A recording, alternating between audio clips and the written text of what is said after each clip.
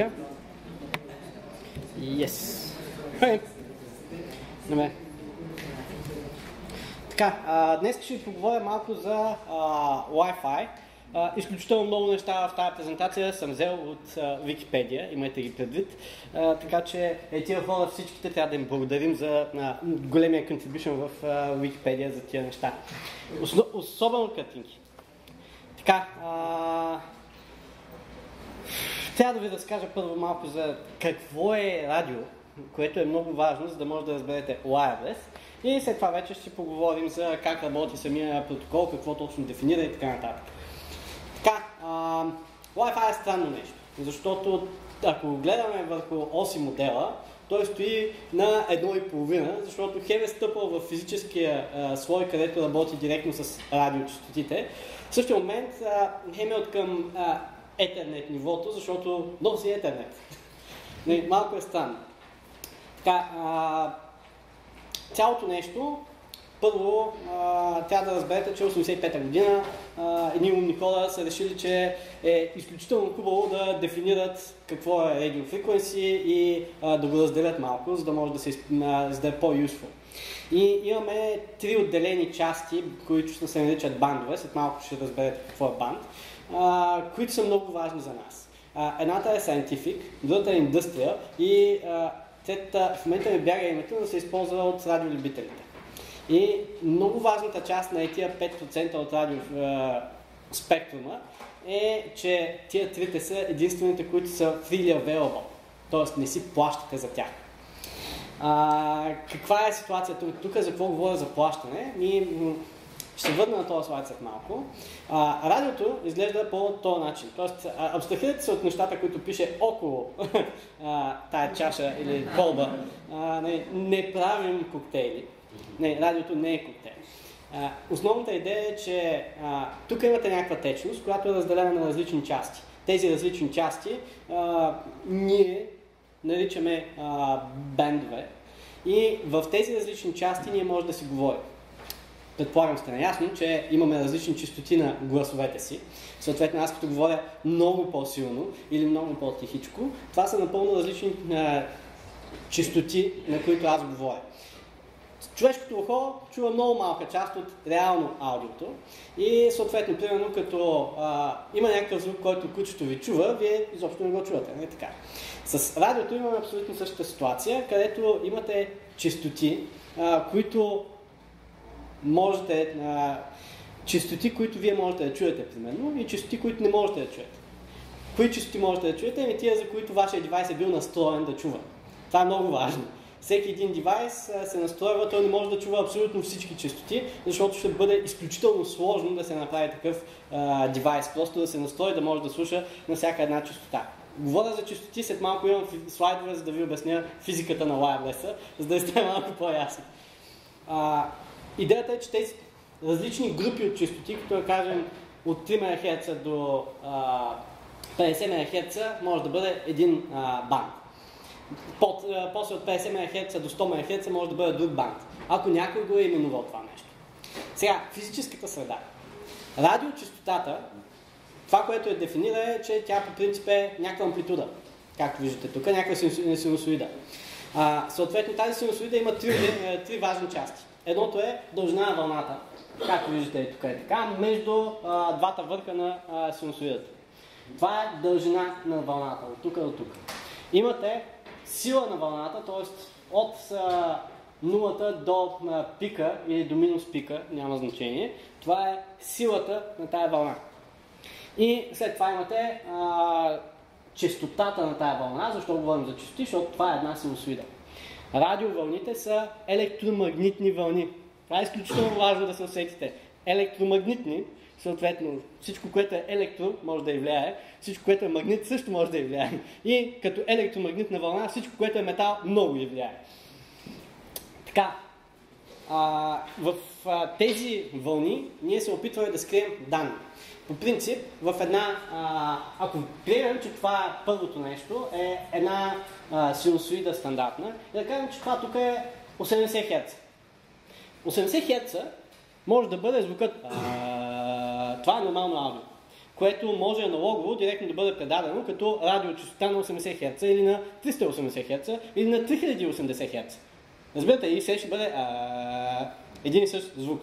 Но това е аналогово, т.е. директно взимаме 80 Hz нещо, аудио 80 Hz, и това аудио го пренасяме като радио 80 Hz. Не, звукът а, реално прави същите неща, които прави а, наш, нашата радиовълна на 80 Hz. Това обикновено ние наричаме в радиото а, carrier signal, т.е. носещ сигнал. Върху него правим разни неща. Сега, след това има някаква модулация, която искаме да направим, като например искаме долното нещо, което виждате. Това е сигнал, който искаме да изпращаме. 1, 0, 1, 0 и така нататък. Всеки един пик може да го направим единица, всеки един а, минус може да го направим 0 или всяка една 0, както е на сигнала, може да направим 0, пък единици да ни бъдат пиковете горе и долу. В зависимост как ще го имплементираме ние това в радиоизпращача и радиоприемник. Не така.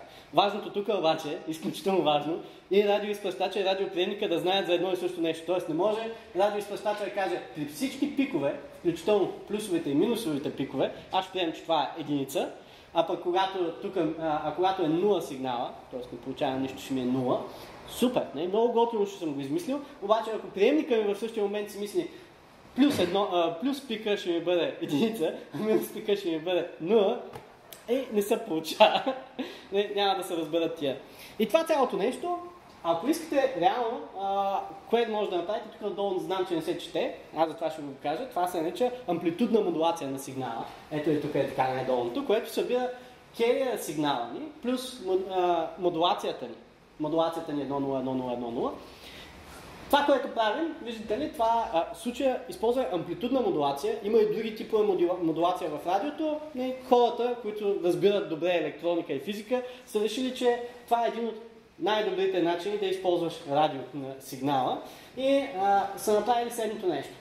При по-голяма сила на сигнала, амплитуда, ние а, имаме единица. При по-малка, в същата а, дължина на вълната, т.е. забележете, че от тук до тук, т.е. от горната картинка, взимаме, налагаме абсолютно същата е, широчина на всяка една амплитуда, на всяка една синусоида. Едно към едно. Слагаме го долу и долу само единицата ни е само когато сме сложили по-голяма сила на е, сигнала, а нулата ни е когато е по-малка, но се вижда. Важното е, че не е няма я, а има просто по-малка сила. Това се нарича амплитудна модулация. Има импулсно кодова модулация, има всякакви други TDM и така нататък, частотни, въобще няма да навлизаме в това. Не, а, не ни е курса по радио. Основната идея тук е вие да разберете какво се използва, когато използвате 802.11 протокола, за което след малко ще говорим.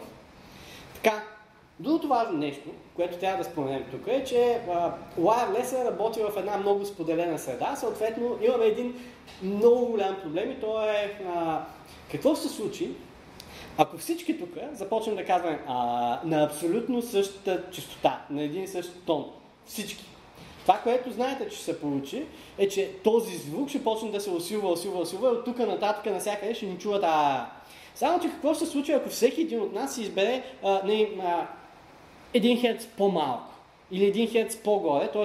имаме, тук колко сме 40-50 човека, имаме 50 различни а, амплитуди, не, частоти, така, 50 различни а, частоти и когато всички викаме, реално никой няма да разбере другия. Никой няма да може да каже, окей, а, това е човек, където е една открая, това е човек, където е една открая, това тук е Мариан. Никой няма да може да го различи това нещо. Поради простата причина, че ние всичките бълваме цялата тази информация, този звук, в едно място, което го шерваме. И е проблем. Никой няма да разбере. Не, повечето хора го познават това като какафония. Не, какафонията в wireless е изключително голям проблем. И хората още в а, първите дни на wireless технология, на радиотехнологиите са се усетили, че това е проблем. Съответно са въвели законодателство и във всяка една държава по света има законодателство, което казва кой до какви частоти има достъп. И с каква мощност има право да излъчва на тия частоти. Изключително важно. Защо? Защото мощността ви дефинира колко надалече се чуете вие. И сега трябва да имате преди, че ако приемем, че е тази стая е целият свят, ние в този целия свят имаме някакви частотини от 0 Hz до там някакви си гигахерци.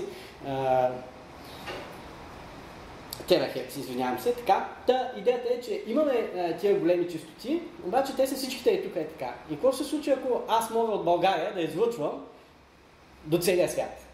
Ами означава, че на тази частота, на която аз излъчвам, с тази голяма мощност да излъчвам в целия свят, абсолютно всички на целия свят чуват мене и не могат да излъчват на тази частота. Което е major fuck който е използван в Втората световна война.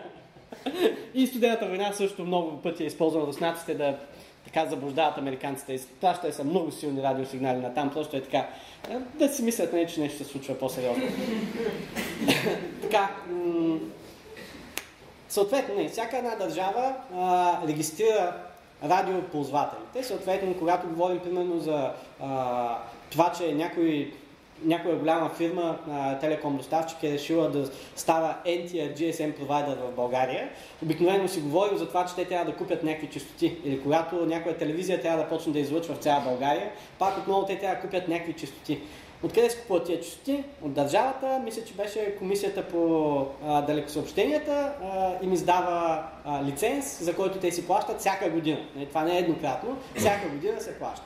Освен това имате различно, а, гео, различна географска локация на частотите. Примерно, може да направите следния експеримент. Взимате в София една частота на радио Хикс и отивате в Бургас и се настроите радиото на колата на абсолютно същата частота и ще се окаже, че там има съвсем друго радио.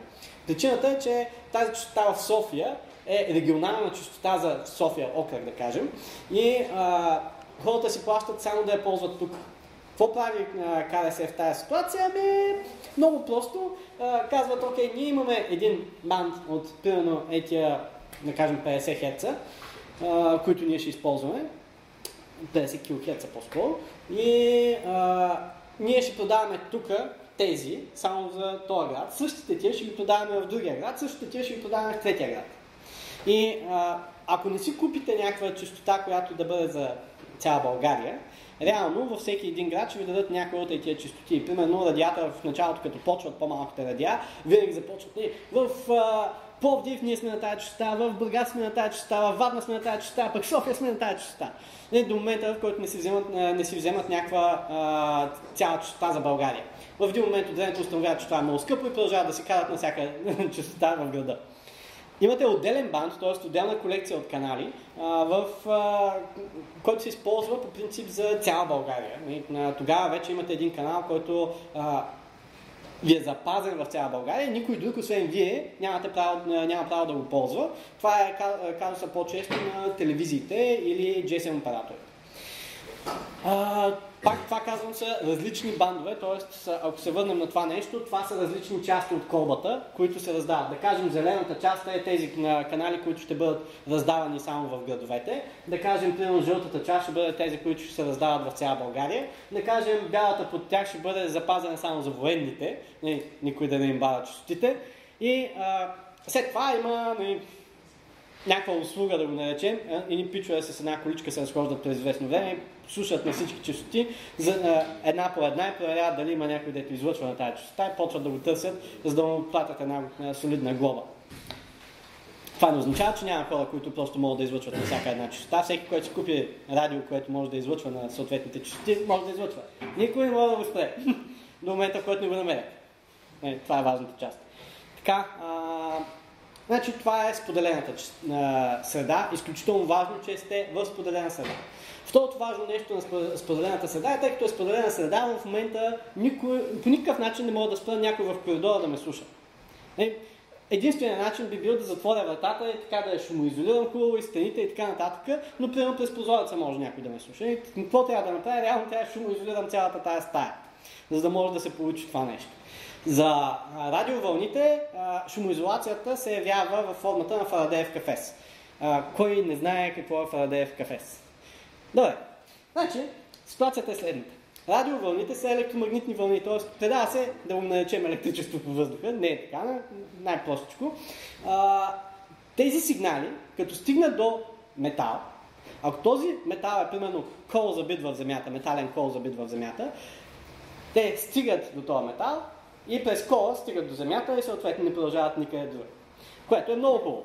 Обаче представете си сега, че тази цялата стая облепим с алуминиево фолио кухненско, тъй като алуминиево фолио такова метално, а, можете да направите, е, не е много добро, ама върши работа да изолирате така, че никакви радиосигнали, електромагнитни сигнали да не излизат от Важната част на Фарадеевия кафе е не само да, за, не, примерно аз да си направя кашон от а, а, такова фолио и да си сложа лаптопа в него от всякъде. Проблема е, че трябва това нещо също да го заземите, т.е. да му вържете един кабел, да го забиете хубаво в земята. Защо? Защото в момента, в който Фарадеевия кафе се насити с електромагнитните сигнали, той почва и той да става антена. Имайте го предвид. Много хора просто си мислят, да, ще сложа тук от всякъде метално фолио или ще набия тук метални пръти и няма да имам никакви проблеми. А, така. Другото в тази посока е, че различните материали по различен начин, а, така да кажем, рефлектват радиосигналите, при което това означава, че а, примерно бетон с арматура може да не е толкова пропусклив, колкото примерно дъска. Обаче пък дъската може би е много по-пропусклива от, да кажем, перече. Различни материали, с които работим. А, така че зависи през какъв а, материал минава сигнала ви, а, по различен начин го приема ваш м, радиосигнал. Така, при споделената среда основният ни проблем е, че тя а, много трудно е да дефинирате кой ще работи. За да не се случва това нещо, имаме, а, използваме един протокол в Wireless, който се казва CSMA CA, така, uh, Carrier Sense uh, Multiple Access with uh, Collision Avoidance. И затова има малко повече информация нататък, но сега да обясним uh, по принцип uh, как работи това нещо. Wireless преди да реши да изпрати нещо, той подготвя фрейма, т.е. с адреса source destination. Презентацията има качена на сайта, няма нужда да се записвате. Така, а, ако имате въпроси, обаче ме спирайте задължително, за да ви обяснявам допълнително. Така, значи, wireless ви трябва да асембълне фрейм. Фрейма прилича малко на Ethernet фрейма, само че включва малко повече неща. Към края днеска имаме информация за самия фрейм. Да, асембълва на фрейма. След което ние трябва да проверим дали можем да говорим в тази среда. Тоест, както е в един нормален разговор, изчакваме другите да спрат да говорят и ние почваме да говорим. Така, а, не, като се има на преди, че това са компютри, те доста по-бързо спират да говорят и почва някой друг да говори. Така, имаме свободен линия канала, да, свободен е, няма никакъв проблем, то тогава а, вече ние сме, изпращаме, че сме готови да изпращаме информация, ready to send, и а, в момента, в който а, получим а, clear to send от, след малко ще разберете от кого, ние изпращаме информация в а, мрежата. Ако е тук е така, канала не е бил свободен, то тогава ние трябва да а, изчакаме някакво рандомно време. Ако не сме получили to send, изчакваме някакво рандом време и продължаваме да се въртиме и тук и така. Тоест, има много случаи, в които ние чакаме, за да можем да си изпратим информацията. Чакаме някой друг да приключи. Защото ако сега пет човека почнем да говорим едновременно с една и съща сила на а, звука, или просто си пуснем а, пет YouTube клипчета с една и съща сила на звука, съм сигурен, че няма да разберем нито едно от тях. Е, това е идеята. И а, това е много прост метод, за да а, не се а, случва а, какафония. Е, това пенца и тук е така долу, реално а, изпраща пакета Clear и а, всички останали се слушват в това нещо. Стандартите, при малко говорих за 802.11, Института на Electronics and Electrical Engineers са дефинирали 802.11 като основния стандарт, който се използва за wireless. На 802.11 има дефинирани доста протоколи, след малко ще видите за какво става на въпрос. И uh, Wi-Fi Alliance, те пък, връщам се тук малко назад, те пък, е тук е така, а, решават един проблем, който се случва 1991 година. Значи, 1991 година а, почват повечето производители да се сещат, че може да се използва wireless, радио, радиочастотите, може да се използва за предаване на данни. И както 10 години по-рано, 10-15 години по-рано, установяват, че има вече бая фирми, които решават да правят различни девайси, които си говорят по различен начин обаче с радиочастотите и си говорят на различни частоти. И проблема е, че някой път тия частоти се засичат наполовина, на цяло а, и на, си пречат изключително много. И затова няколко фирми създават това, което се нарича а, Wi-Fi Alliance с идеята. Първо да се дефинират канали. Каналите са а, частоти от частота X до частота Y. Това цялото нещо ние го приемаме като един канал, през който ние предаваме данни. Така, а... извинявам се, това е банда. Една частота е един канал. Тоест, ако ви кажа 2460 МHz, това е един канал. Ако ви кажа от 2460 до 2480, това тук вече ви е, е един бан, защото включва много частоти. Така, а, та, много фирмички 91 година са направили някакви неща и става проблематично. 97 година е първият ни wireless стандарт 802.11, когато сме работили на 1 мегабит, 1-2 мегабита. И това, ако ви се струва много бавничко сега, трябва да кажа, че по него време, ние тук в България бяхме на 33.6, 56 и 4 килобита. не мегабита, килобита. Съответно, това не бешеъплинка, примерно на доставчика в града, в целия град, примерно в бяхме толкова. Какво? Да, доставчика имаше толковаъплинк към интернет. Толкова беше. Съответно, един мегабит е доста повече от това и е много хубаво, че не изисква кабел. Така, а, тия стандарти 802.11 много бързо поемат, по простата причина, че имаме и тия разделения на Scientific, Industrial и там хам частотите. Не... Medical ли бяха? ASN, Medical не съм сигурен, че са фри. Мисля, че е Medical. Добре, Значи предния път, като съм водил тази лекция, бях проверил и го бях казал, ще, ще го проверя и ще ви кажа какво беше третото, и да не се лъжим за тия ASM бандовете. А, така, съответно, тук продължаваме малко нататък. И а, важното нещо е, че има различни стандарти за именуване на тия частоти. Значи, ако питате International Telecom Union, ITU, за тях, примерно, а, банд 4 или канал 4 е very low frequency и е между 3 и 30 кГц и е между а, 10 и 100 км. Съответно, това е от а, е тук е така, при 30 кГц имате а, 10 км, а, а при 3 кГц имате 100 км, това е дължина на вълната. Една вълна, т.е. цялата синусоида, от връх до връх, не, дължината на вълната, връщам ви е тук е така, от тук до тук имате 100 км. Е, съответно, трябва да имате предвид, че толкова време, не, съответно много по-бавно може да предавате някаква информация, защото не, ако погледнем ам, а, амплитудната модулация тук, реално трябва да минем 200 км преди да получим 0,1. Малко кофти, не така. So, поради тази причина имаме след това uh, low frequency от 300, uh, от 30 до 300 кГц, което от 1 10 км дължина на вълната, uh, 6 канал е medium frequency от 300 до uh, 3, 3000 кГц, от 100 до uh, 1000 метра.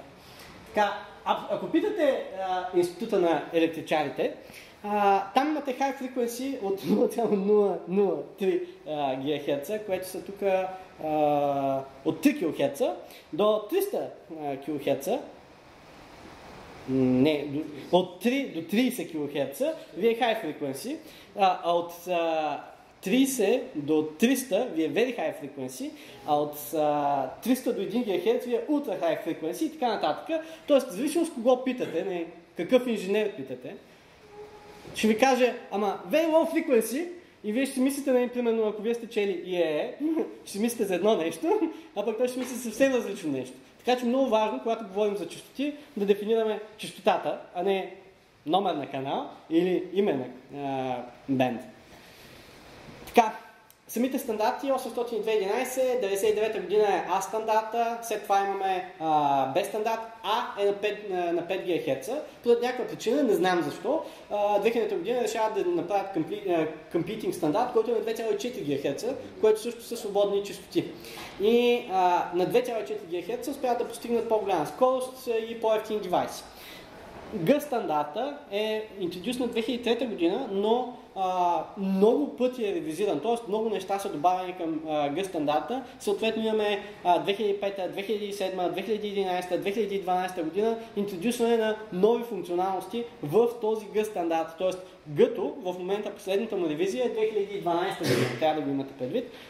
Тоест не е толкова стар стандарт. Доста неща има добавени в него, въпреки че само, на 50, е, само 54 е, мегабита ви дава. 2009 година хората се сещат, че може да се използват малко по-различни неща, като например да ползваш по-широк канал и се появява N стандарта и 2013 година се появява AC стандарта. Това е нещо, където за AC и за MIMO ще ви говоря следващия път, защото не съм се подготвил, както казах където ви дава възможност да използвате много по-големи канали. А, така, 802.11i е стандарта, който дефинира WPA2. А, това ни е а, Wireless Protected Authentication или беше 2, нещо такова. А, това ни дефинира реално security стандарта, който използваме в момента за а, wireless. Единствения горе secure. Всички останали са щупени. Така, а, Protected Management Frames са интродюснати в W, ще разберете защо това е важно малко по-нататък. Security-то имаме uh, VPA, не го ползвайте никога. Uh, имате Web, където също не го ползвате никога. Uh, VPA 2 е нещо, което трябва да използвате. Wireless uh, uh, имам го цялото написано няколко слайда по-нататък, забравя го сега. Освен това имате два стандарта, ето тук е така, 802.11s, който е за менеджмент и uh, 802.11u, който се използва за връзка с други мрежи. Да? А, да питам само горе за тези AB, да? GN и AC.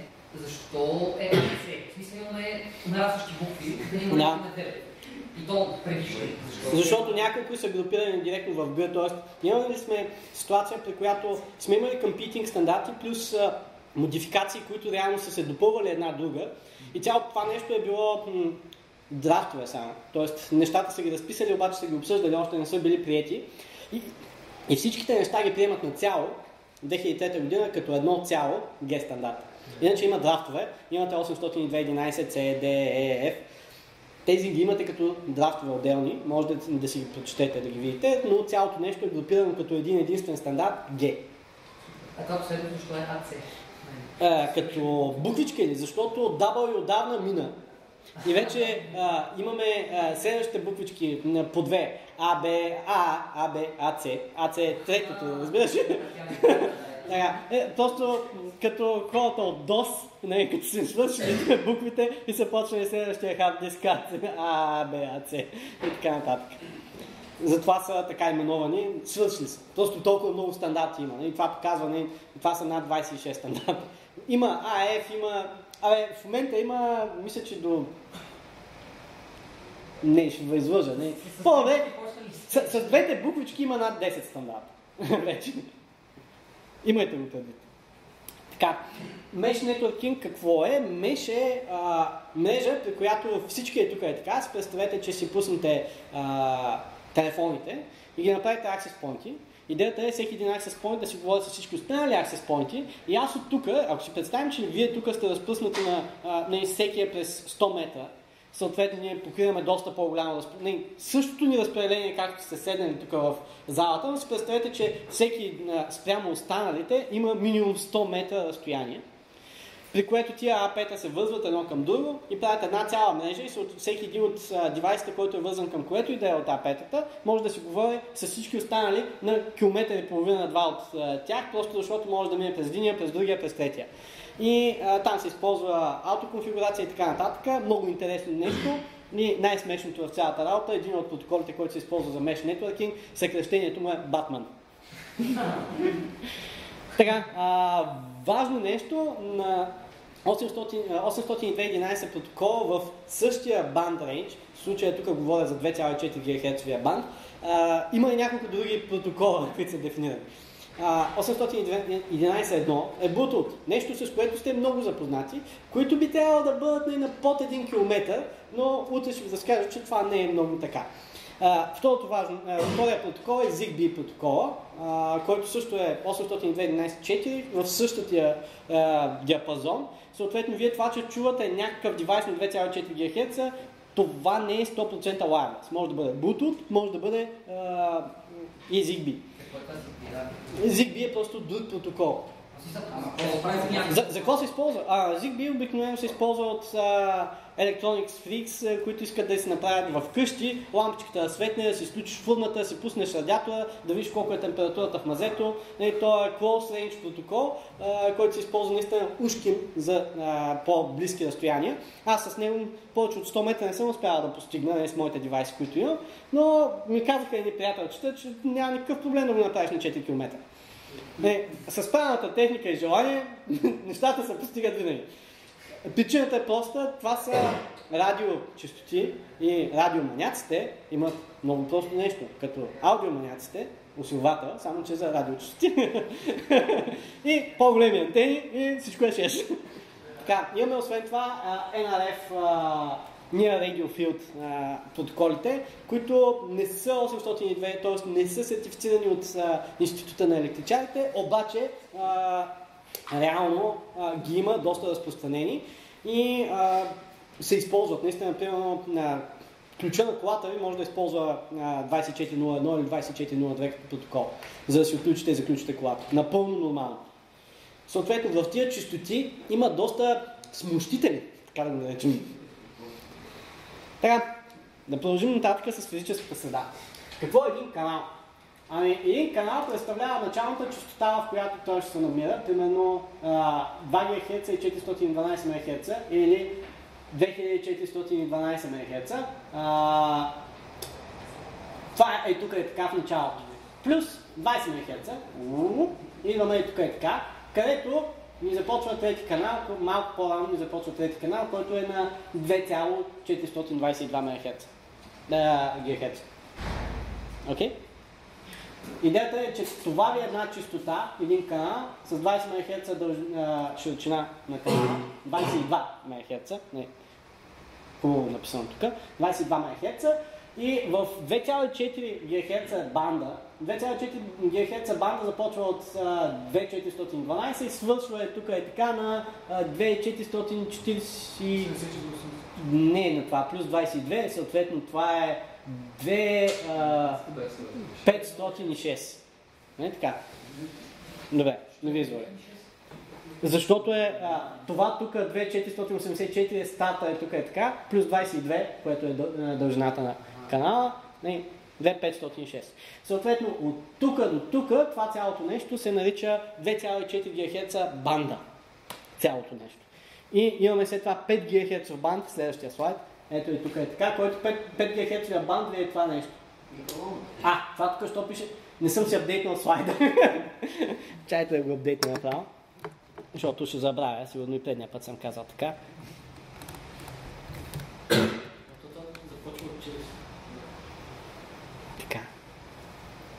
Може би нямаше нужда да го сейвам. Така. Та, идеята каква е? Имате това цялото нещо се нарича банд. 5 GHz банд е малко странен, защото е разделен на две части. Имате от 5170 до 5320 и после от 5500 до 5700. Това, което трябва да забележите е, че а, другия херцовия банд е изключително малък в сравнение с този, който е на 5 GHz. И има втори проблем. В 2,4 GHz, като много разпространена технология, има девайси навсякъде. Не за всичко има девайси, дето да поддържат този рейндж от частоти. И имате реално само 4 частоти, които не се оверлапват. Имате първи канал. Първи канал е 2,412 ГГц. Просто тази частота е тук е така в началото, 2,412. Ние вместо да казваме частотата и казваме от 802.11, например гъс стандарта, казваме първи канал, то автоматично ние трябва да го асоциираме с това нещо. Сега, вие няма нужда да го асоциирате, просто трябва да знаете, че е отделен канал. Okay? След това виждаме трети канал, а, така, първи не, а, шести канал, който е следващия, който по никакъв начин не се застъпва с първи. И след 6 канал виждате 11 канал, той е първият след 6 канал, който не се застъпва с 6. И след това имате този 14 канал, който изключително малко девайси реално поддържат. Втория въпрос е, че е тая, този 14 канал, примерно в Штатите, не е разрешен, т.е. не е свободен като частота, а в Европа, в Европа май беше свободен, и тук ще го излъжа. В България сме го ползвали. Та, а, съответно, когато си купувате девайс, примерно от щатите, а, от щатите ще имате само до 13 канал, който и него не е много сигурно до къде го имате, по-скоро до 12. 12 със сигурност го имате навсякъде. 13 и 14 ги имате на различни места по света, не навсякъде. Съответно, от щатите си взимате един девайс, който има само, да кажем, до 12 канала, за да съм по-сигурен. А пък ако си вземете от Европа същия девайс, т.е. едно канал хардвер, същия производител, от същата фабрика е излязъл, всичко единственото нещо, което са направили е да му кажат това девайс ще се продава в Европа и поради тази причина там има enablement 13 и 14 канала.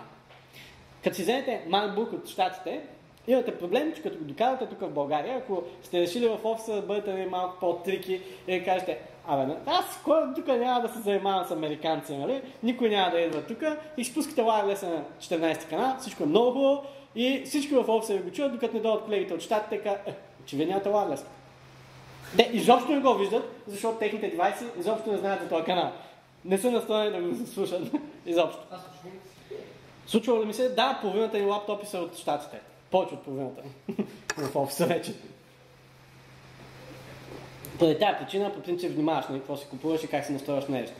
Така, това са ни четирите канала, които не са оверлапинг. Какво става с оверлапинг канали? Това е идеята тук. Значи физиците, тук физиците се намесват и казват, че е възможно да имаме частота 2,412 МГц и 2,417 МГц, 2 МГц, 2 МГц, 5 МГц разлика, което така настройва звука, че девайсите могат да го разграничат. Всички, които го чуват, да могат да го разграничат. Проблема обаче е, че има много шум в тия два сигнала. Тоест, представете си, че аз съм тук и Бояна до мен и той говори с а, много малка разлика в силата на звука. И двамата ни чувате, обаче тъй като ние сме с по-различни гласове реално, с по-различна а, сила на звука, можете да не разберете и двамата. Сега, това е такава ситуация, в която проблема на това нещо е, че когато се случи да има и трети човек, който вече с различна сила също говори, това означава, че имаме части от нашия канал, които са заети, и имаме по-малко бендвит, който може да изпращаме. Защо по-малко? Защото повечето за нас е нойс от други канали. Разбирате ли? Съответно, гледате да избягвате, когато настрояте wireless, гледате да избягвате overlapping канали. Което на 2,4 ГГц, ако сте на по-офис място, центъра, бизнес парка, не, нашата сграда специално, примерно, където има повече wireless девайси, се оказва, че е почти невъзможно. Съответно, избирате канала, на който има най-малко девайси и на който има най-малко други девайси, които са с overlapping канали. Това е много важно. И по принцип си има алгоритъм, по който да си го изберете това нещо и си кликате Auto на, ваш, на вашия AP рута и тия канали би трябвало да се сменят автоматично, когато се появи нов девайс, което не работи. Пък ако имате Mac, Имайте преди, че wireless не работи, когато си пуснете Bluetooth, така че не, изключвайте го. да? Добре, това с аутото, ако си пуснат абсолютно всички ауто, това не означава, че един като се смени, друг ще реши и той ще се смени. Да, и много често се сменя, да. И просто става постоянно да смени. Факт, да, така, това означава точно това. Факт обаче е, че повечето девайси правят а, избор на канал в момента, в който ги включиш и след това примерно две седмици по-късно. а, а някой никога. Има го предвид. Нали, примерно, аз не знам за OpenWRT аутото как работи, трябва да проверя, но повечето аутото им е тъпо и е до момента, в който, не, в момента, в който активираш девайса, проверява. И нов uh, scanning sweep uh, не е ясно кога точно ще има. Така, 2,4 ГГц е много досаден банд. Реално в него, като се опитате да работите, се получава следната неприятна ситуация. Имате 54 мегабита максимум. Това е на 2,4 ГГц, което може да постигнете ако сте щастливи. Което означава на 54 мегабита, не мегабита. В тези 54 мегабита, представете си сега, че имате а, 54 лаптопа. Те са разделени тези мегабити, защото това е един канал, една тръба. 54 лаптопа, максимум 1 мегабит И това е теоретичен максимум. Фактически максимум някъде от порядъка на 600 килобита. Даже по-малко. Трябва да го имате преди това нещо. Тоест колко повече девайси има закачени. И тук не говори, може, тук, ако имате две ап на същата на частота, това е кумулативно всичките клиенти на двете ап Не е само тия деца закачени на вашето АП, а всички. Имаш въпрос там, май. Не, колегата до тебе. Добре, защото това е много неразбрано и много често, много често проблем, например, а то нашето АП има закачени само 10 човека, как така не работи, не мога да дигна повече от 2 мегабита. Ами на съседното на същия канал има 50. Не, разбирате ли сега казва? Това, това е проблем, много голям проблем. И освен това, а, на тия частоти, реално 2,4 ГГц, има едни много интересни девайси, които също работят на същите частоти, микроволнови. Микроволновата фурна, реално нейния магнетрон, това нещо, което, така да кажем, възбужда водата в вашата храна, работи на абсолютно същата частота, същия рейндж частоти. Като те там не са не се мъчат да ги оцелят съвсем точно. Съответно, това нещо, дето излъчва, излъчва на доста голям банд, нали, т.е. на много частоти. Девайсът не е мислен не, нали, като радиопредавател, той е мислен не, нали, да пече. по-големи. Значи, ако направите трика, микроволновата в принцип има едно бутонче там, за да може да отчете, че е затворен а, капака. Значи този капак тук отпред, знаете, че той е на едни дупчици, защото реално отпред това цялото е метал, за да направи Фарадеев кафе си тия радиовълни от магнетона да не излязат от микроволновата и фурна. И идеята тук е тази микроволнова фурна, ако и отворите капака и просто натиснете бутончето там, така че да си мисли микроволновата, че е затворен капака и я пуснете, Значи, освен, че вие ще се изпечете, което е много вероятен казус, но да кажем, че пускате 10 15-20 метра разстояние, а, всичките wireless наоколо не, няма да работят. Тотално ще спят да работят. И абсолютно всички други девайси, които успяват да излучат а, нещо на тази частота и под нещо разбирате всеки един девайс, който а, създава искра, по-голяма искра, излъчва, тия искри реално излъчват радиомагнитни вълни на а, електромагнитни вълни на м, близки разстояния, обаче в целия банд. Което е проблем, т.е. ако имате много често нещо, което прави искри, като например старт-стоп на трифазен двигател, това нещо нали, по-голям, примерно нещо, което харчи 16 ампера минимум за старт, това нещо ще ви чупи постоянно wireless, ще го чупи не, нали, като на трите стъпки за възбуждане на, на, на мотките и след това при спирането също. Не, всеки път, когато се дава искри. И, и е малко странно. Също, ако имате бойлер, не, стандартно нещо, в момента в който той включва, цък, е, е, това цък реално е една доста хубава искра вътре, защото е доста мощен бойлер принцип. И някакви печки също правят абсолютно също нещо. Всички искри са проблематични. Не, някои са по-проблематични, защото са много мощни, много големи, съответно много надалеч се чуват. Има и други, които са много по-малки и почти никой не ги чуват, което е много окей okay за вас. Проблемът е, че вие споделяте тая цялата среда, вашия wireless router я споделя с всякакви такива девайси и пълни глупаци наоколо с а, техните им девайси. Така че имайте го предвид, wireless е гадна среда, за да а, направите нещо reliable. В нашия офис аз лично съветвам всичките ми колеги да си работят на кабел. Очевидно само на мен ми се случва wireless да работи за мен. а, така. Тук следващото нещо е 5 ГГц. На 5 ГГц, да, Почивка? Има ли нужда от почивка? Добре, да направим 15 минути почивка.